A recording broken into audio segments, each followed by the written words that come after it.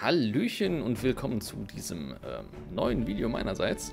Heute quatschen wir mal über etwas, was ich vor langer Zeit schon mal angeteasert habe. Und zwar über Laswaffen. Falls ihr euch erinnert, ich habe einen Short gemacht oder damals ähm, habe ich den eingesprochen und Julian hat den geschnitten. Bevor ich, also damals, ne, bevor ich angefangen habe, selber Videos zu machen. Ähm, wobei, Shorts habe ich noch selber gar nicht gemacht. Egal. Ich habe ein Short über Laswaffen gemacht und falls ihr den nicht kennt, dann geht jetzt gerne auf unsere Short-Seite und ähm, also von unserem YouTube-Kanal und guckt euch das an. So als kleines Intro. Aber ich wollte schon länger mal etwas genauer darüber reden, weil äh, erstens interessiert es mich und zweitens gab es dann in den Kommentaren unter diesem Short dann irgendwelche Heinis, die gesagt haben, ja, aber eigentlich ist das so und so. Ähm, weil sie nicht kapiert haben, dass das Short halt humoristisch gemeint ist. Ja, ich denke, ihr versteht das, aber gab halt so ein paar Leute, die das nicht kapiert haben. Insofern, ähm, hier ist jetzt das Video, in dem es weniger humoristisch und mehr, in Anführungszeichen, faktenmäßig darum geht. Ähm, wir quatschen heute über Laswaffen und zwar nicht nur über imperiale Laswaffen, sondern auch so ein bisschen über Xenos äh, Labwaffen, genau, äh, Laserwaffen. Ähm, und was mich überrascht hat, ist unter anderem, dass auch Orks Laserwaffen benutzen. Aber äh, ja, tun sie. Die Elder, das wusste ich, äh, die Leagues of Wotan nutzen sie und tatsächlich die Tau, wobei das ein bisschen ja, schwierig ist, weil eigentlich nutzen sie keine Laserwaffen per se. Also glaubt nicht der Wiki-Seite, ähm, sondern sie nutzen halt quasi Lasermarkierungspointer. So quasi das, was du teilweise auch in unserer Kriegsführung tust. Einfach ein Ziel mit einem Laser markieren und da äh, lockt sich dann eine Rakete oder sonst irgendwas drauf. Also die Tau nutzen da weniger Laswaffen an sich, sondern mehr so Zieloptik, ich weiß tatsächlich nicht, ob das Imperium das auch tut. Aber die Tau tun es auf jeden Fall. Gut, was ist überhaupt eine Laserwaffe, eine Laswaffe? Wo ist da der Unterschied ähm, zu vielleicht anderen, ja, Science-Fiction, Fantasy-Fiction, äh, Science-Fantasy-Universen? Das erste, was einem vielleicht auffällt oder einfällt, ist Star Wars. Also, ich meine, da haben sie ja auch diese Blaster. Und es sind eben genau das. Es sind keine Laserwaffen an sich, es sind Plasmawaffen. Lustigerweise. Also über die reden wir vielleicht ein bisschen genauer, wenn wir auch wirklich zu den 40k Plasmawaffen kommen. Aber wo ist der Unterschied? Ähm, ganz einfach. Du hast bei den Blastern im äh, Star Wars hast du quasi zwei Magazine, sage ich mal. Im einen ist, das ist, eine ist ein Energy Pack, das ist halt für die Energisierung äh, zuständig und das andere ist ein Gastank.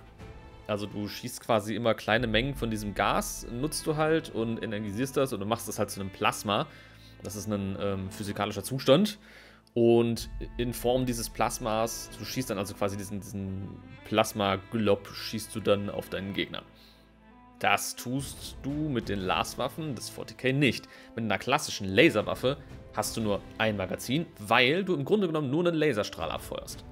Was bedeutet das jetzt genau? Also ein Laserstrahl, das ist ja quasi ja, ein, Energiestrahl, der sich mit Lichtgeschwindigkeit fortbewegt. Ist jetzt in den ganzen Animationen ähm, nicht so zu sehen, weil du siehst ja quasi diese, diese Schüsse von den, ähm, es sind ja meistens Gardisten, die das nutzen, ähm, siehst du ja. Die siehst du ja fliegen und jetzt geht hier die Feuerwehrsirene. Geil. Ähm, ja, die siehst du ja fliegen. Also theoretisch ist es zumindest in den äh, Medien, die wir so sehen, nicht unbedingt eine klassische Laserwaffe wieder. Na, weil du siehst dieses Ding ja. Und ganz ehrlich, also ein Licht, also ein Partikel, was sich mit Lichtgeschwindigkeit bewegt, kommt in der Sekunde siebenmal um unsere Erde drumherum. Sorry, das ist so schnell, das siehst du nicht. Deswegen, also entweder ist es nicht richtig dargestellt, oder es muss irgendwas anderes sein. Aus der Lore geht jedoch hervor, dass es eine klassische Laserwaffe ist. Insofern denke ich mal, hat man das in diesen ganzen Medien einfach nur gemacht, um das zu visualisieren. Weil am Ende ähm, würdest du bei einer Laserwaffe halt abdrücken und wenn du auf ein Ziel, keine Ahnung, was 100 Meter von dir entfernt steht, wenn du darauf zielst, dann ist da quasi ein Loch drin in dem Moment, in dem du abdrückst. Auch wenn das Ziel ein Kilometer entfernt ist oder zwei oder drei. Das ist eigentlich scheißegal. Also du, ist quasi, du triffst das Ziel quasi in dem Moment, in dem du abdrückst. Zumindest, wenn man klassisch sich eine Laserwaffe anguckt. Wie funktioniert das jetzt? Also, wie funktioniert ein Laser? Rudimentär ist ein Laser gebündeltes Licht. Also du brauchst irgendwelche Linsen etc. Im Idealfall ist ein, also nutzt du einen Laser mit einer Wellenlänge. Ne, also, falls ihr euch erinnert, äh, Licht hat verschiedene Wellenlängen, also sichtbares Licht hat verschiedene Wellenlängen und je nachdem ähm, wird die Wellenlänge länger, dann geht es in Richtung Rot, wird die Wellenlänge kürzer, ähm, dann geht es in Richtung Blau. Ja, also so farbmäßig. Und im Idealfall hast du eine Wellenlänge, eine Farbe. Ähm, welche jetzt da ideal ist für Waffen, keine Ahnung. Mit meinem begrenzten physikalischen Wissen würde ich sagen, wahrscheinlich eher die höher energetischen Wellen. Ähm, also so Richtung Blau. Generell, je höher die, äh, je größer die Wellenlänge, desto quasi energiereicher ist dieses Ding. Ähm, also ich würde also eher sagen, so höher energetisches Licht. Auf der anderen Seite frage ich mich natürlich auch, warum muss es denn auf sichtbares Licht begrenzt sein? Weil wenn ihr euch mal ähm, Strahlung etc. anguckt, das sichtbare Licht ist nur wirklich ein winziger Teil davon. Warum äh, sollten wir denn keine, keine Ahnung, Radiostrahlen verschießen? Gut, die sind, ja, die haben eine längere Wellenlänge. Äh, oder UV-Strahlen, einen Röntgenblaster oder sowas. Ne? Also ich meine, es gibt ähm, in verschiedenen ähm, Science-Fiction-Universen, zum Beispiel ähm, hier Fallout, gibt es einen Gamma-Blaster. Ja, warum denn nicht sowas? Aber das ist äh, vielleicht äh, ein bisschen off-topic. Da könnt ihr ja gerne, wenn ihr da Ideen habt, ein bisschen in den Kommentaren drüber quatschen. Aber rudimentär, ein Laser ist gebündeltes Licht. Müsst ihr euch also vorstellen, wie wenn ihr eine Brille aufsetzt beispielsweise. Ne, dann wird ja alles schärfer quasi, weil das Licht an einem Punkt besser ja, fokussiert ist. Und hier kommen wir zu einem ganz wichtigen Punkt, meiner Meinung nach, bei einer Laswaffe oder einem Lasergewehr. Du bündelst das Licht in einem, äh, in einem Fokuspunkt, äh, in einem Brennpunkt, wenn du eine Linse benutzt. Ähm, das ist blöd, weil vor diesem Brennpunkt ist es nicht perfekt gebündelt und dahinter auch nicht mehr. Und es braucht eine ganze Menge lustigen Schnickschnack, um einen äh, Laserstrahl, sage ich mal, zu erzeugen, bei dem die ähm, einzelnen, also ein Laserstrahl besteht immer aus vielen, vielen äh, Lichtstrahlen, die sich nicht alle auf einen Punkt zu bewegen, sondern die alle parallel zusammenlaufen. Aber halt auch extrem nah beieinander, dass du halt einen fokussierten äh, Laserstrahl hast. Ähm, das ist ziemlich schwierig, vor allem auf kleinem Raum, also in einem Lasgewehr oder sogar einer Laspistole musst du das hinkriegen. Das ähm, stelle ich mir technisch ziemlich schwierig vor. Aber wir sind im 40k. Es ist ein Science-Fiction-Universum, also das funktioniert irgendwie. Die technischen Voraussetzungen sind also da. Was brauchen wir noch? Wir brauchen Energie. Ganz klar am, im Ende, am Ende ist es halt einfach nur eine Taschenlampe an einem Ende, die du halt anschaltest und am anderen Ende kommt dann halt ein gemüttelter Laserstrahl raus. Also brauchst du eine Lichtquelle. Was braucht eine Lichtquelle, um Licht abzugeben? Richtig, sie braucht Energie. Und im einfachsten Fall ist das eine Batterie. Und was anderes sind diese Energiepacks, also die Magazine, eines Lasgewehrs halt nicht. Es sind einfach Batterien. Mehr nicht. Das sieht man auch daran, ich habe in meinem Short erwähnt, dass man die LAS-Gewehr-Energiepacks ähm, in die Sonne legen kann. Beziehungsweise es gibt einen ähm, Solarcharger dazu, aber theoretisch kannst du sie auch in die Sonne legen oder du röstest sie halt wirklich einfach über Feuer. Du solltest sie vielleicht nicht ins Feuer werfen, aber wenn du sie so daneben legst, dann funktioniert das auch. Ne, also du, die sind also irgendeine Art von hochfunktionalem Akku, der äh, irgendwie sämtliche Arten von Energie irgendwie aufnehmen kann. Fragt mich nicht. Es, es würde mich mal interessieren, ob man das Ding in die Mikrowelle stecken kann. Huh. okay, weiter im Text. Ähm, ihr braucht also Energie. Die kommt von dieser Batterie. Diese Batterie äh, powert im Grunde genommen einfach nur eine Leuchtquelle. Und je nachdem, wie ja, stark diese Leuchtquelle äh, angemacht wird, also ob sie jetzt normal ist oder vielleicht ein bisschen heller, desto schneller verbraucht sich halt dieses Batteriepaket. Na, also kommt darauf an, was du an deinem Blasgewehr einstellst, ob du jetzt einen besonders starken Schuss haben möchtest oder einen etwas weniger starken Schuss. Ähm, desto mehr oder weniger verbraucht sich dann halt einfach die Energiepackung, die du dabei hast. Das bedeutet, ähm, du hast keine festen Anzahl an Schüssen in deinem Magazin drin. Ne? Bei, einem, bei einer normalen Schusswaffe, sage ich mal, weißt du, okay, ich habe hier 10 Patronen reingeknallt. Wenn ich also 10 Mal abdrücke und es 10 Mal geknallt hat und ich dann ein 11. Mal abdrücke, macht es nur Klick und es passiert nichts. Also muss ich das Magazin wechseln. Bei einem Lasgewehr oder generell einer Laswaffe, bei der du halt die Energiestärke einstellen kannst, kann es halt sein, dass du mit voll aufgeladenen Schüssen 10 Mal feuern kannst und mit weniger aufgeladenen Schüssen halt, keine Ahnung, 100 Mal. Warum ist das geil? Naja, ganz einfach. Stell dir vor, du hast einen schwer gepanzerten Dude. Den willst du aufhalten. Also drehst du deine Laswaffe auf volle Pulle und brezelst dem ein Loch in die Rüstung. Wenn du diese selbe Einstellung jetzt aber benutzt, um irgendwelche ungepanzerten Heinis umzulegen, dann ist das Overkill. Du brauchst nicht ein faustgroßes Loch in der Brust von jemandem, um ihn umzubringen. Es reicht auch ein fingerdickes Loch. Okay? Also schraubst du die Energie runter. Das heißt, du kannst viel häufiger schießen als mit der hochgedrehten Energie. Das heißt, du kannst deine Energie und quasi deine Munition besser einteilen. Du musst also, ja, kognitive Voraussetzungen dafür müssten halt gegeben sein, ne? Gut. Jetzt wisst ihr, wie ungefähr eine Laswaffe funktioniert. Ja, das ist rudimentär, ich weiß, da gibt es bestimmt wesentlich bessere Möglichkeiten, das zu erklären, wenn es euch wirklich interessiert, wie ein Laser funktioniert. Da gibt es auf YouTube eine ganze Menge und es gibt im Internet sowieso eine ganze Menge äh, Dinge, die das erklären. Insofern, wenn es euch das interessiert, das ist wirklich eine interessante Sache, dann guckt euch das gerne an. Dann wird euch wahrscheinlich auch klar sein, ähm, dass man bei einer Laswaffe irgendwann auch noch was anderes auswechseln müsste als nur das Magazin. Ne? Also zum Beispiel der, der Fokussierungskristall, sage ich jetzt mal, nenne ich dieses Ding jetzt einfach mal. Ähm, wenn ihr euch zum Beispiel mal ähm, so, ein, so einen Enthaarungslaser angeguckt habt, die haben auch nur eine gewisse Menge an ja, Energieladungen. Nicht, weil dann kein Strom mehr drin ist, sondern einfach, weil dann dieses, nicht diese Linse, aber ähm, diese, diese Laserzelle dann einfach aufgebraucht ist. Aber das ist was anderes, das würde jetzt zu tief reingehen. Übrigens, eine andere Möglichkeit, dein Lasgewehr oder deine Laswaffe zu versorgen, ist ein Reaktor zum Beispiel auf einem Titan oder einem Dreadnought oder einem Panzer oder einem Raumschiff. Also ihr seht, ähm, es gibt auch Laser, die ein bisschen größer sind, ja, als nur ein Gewehr oder so. Ähm, für Space Marines beispielsweise gibt es auch die Möglichkeit, dass diese Waffe direkt mit ihrem mit ihrem ähm, Rucksack da zu verbinden. Also dem, dem, die haben ja so einen, so einen Reaktor auf dem Rücken und da können die quasi ihre Laswaffe direkt anschließen. Das heißt, sie müssen das Ding nicht nachladen. Das ist durchaus ziemlich praktisch.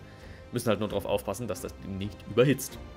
Ist übrigens auch das Problem bei anderen ähm, Plattformen, sei es jetzt wie gesagt ein Schiff, ein Dreadnought oder ein Titan oder ein Panzer oder sonst irgendwas. Da hast du auch immer das Problem von Hitze. Also das ist ja nicht nur äh, Licht scheinbar, sondern das erhitzt auch alles mögliche andere. Ein bisschen was, was mir aufgefallen ist, ist zum Beispiel das äh, imperiale äh, Long Last Rifle. Das ist wohl ein Lastgewehr, was einfach weiter schießen kann, weil es einen längeren Lauf hat, was bei einem Lasergewehr so absolut null Sinn ergibt. Ähm, einfach weil, ja, also bei, bei, eine, bei einem Projektil ergibt das Sinn, weil du im Lauf äh, dann mehr Zeit hast, die Kugel zu beschleunigen etc. Aber bei einem Lasergewehr ergibt das null Sinn. Absolut nicht. Es sei denn natürlich, du hast da noch irgendwie mehr Linsen drin, aber mehr als fokussiert und gerade geht halt nicht. Und ein Lasergewehr ergibt dann halt wirklich nur dann Sinn, wenn dein, äh, deine Strahlen alle parallel und gebündelt verlaufen. Und wenn das nicht so ist, dann kannst du das Ding halt in die Tonne treten, dann brauchst du es halt nicht, dann ist es nutzlos. Insofern zu sagen, ja, da sind noch mehr Linsen drin, die das noch gebündelter machen. Alter, gebündelter als 100% geht nicht. Okay? Also ergibt das keinen Sinn. Also dieses Longlast ist. Ja. Naja, reden wir nicht drüber. Übrigens, ein supergeiler äh, Vorteil eines Lasergewehrs ist halt, dass sowas wie Wind einfach keine Rolle spielt bei deinem Schuss. Weil, ja, was willst du pusten? Hast du mal versucht, Licht wegzupusten? Viel Spaß dabei. Was natürlich ein Problem ist, sind ähm, Partikel in der Atmosphäre.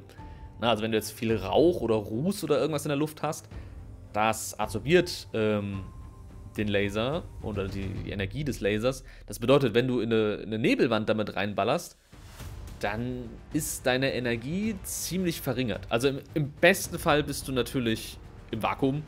Da funktioniert es am besten, weil da hast du keine Partikel, die Energie aufnehmen. Aber wenn du auf dem Planeten bist, hoffentlich ist es ein klarer Tag und es brennt nichts in der Nähe und deine Gegner nutzen keine Rauchgranaten. Weil, ja, sonst wäre das irgendwie doof. Aber unterhalten wir uns doch mal ganz schnell über die verschiedenen Arten von Laserwaffen. Und ich würde jetzt wirklich nicht direkt genau drauf eingehen, sondern euch nur so ein paar ähm, Sachen erzählen. Also es gibt erstmal dieses ganz rudimentäre Lasgewehr des Imperiums. Das ist das M35 Galaxy Pattern. Ähm, das ist quasi dieses Ding, was ihr bei allen Guardsmen seht. Es gibt noch einen Arsch voll andere, aber die funktionieren im Grunde genommen alle gleich. Und jede Schmiedewelt macht so ein bisschen ihr eigenes Ding. Ne? Also die einen äh, machen den, das Schulterpolster ein bisschen anders, dann hast du ein anderes Visier, vielleicht ist, der Griff ist ein bisschen anders, aber die Funktionsweise ist immer gleich. Dann gibt es ähm, welche, die sind eher so in Richtung Steinschlosspistole oder Steinschlossgewehr. Also die sehen so aus, geht eher so, falls ihr Fallout 4 gespielt habt, so ein bisschen in Richtung dieser Lasermuskete. Also ihr müsst ja jetzt nicht irgendwie drehen oder sowas, aber so ein bisschen vom Aussehen her geht es in die Richtung. Es gibt die ganzen Dinge als Pistolen natürlich. Ähm, es gibt eine aufgepimpte Version der Laswaffe. Nein, ich rede ja nicht von Melter oder äh, Vulkite, sondern ich rede von den, von den Hellguns und den Hellpistols. Oder den, den Höllenpistolen und den äh, Höllengewehren.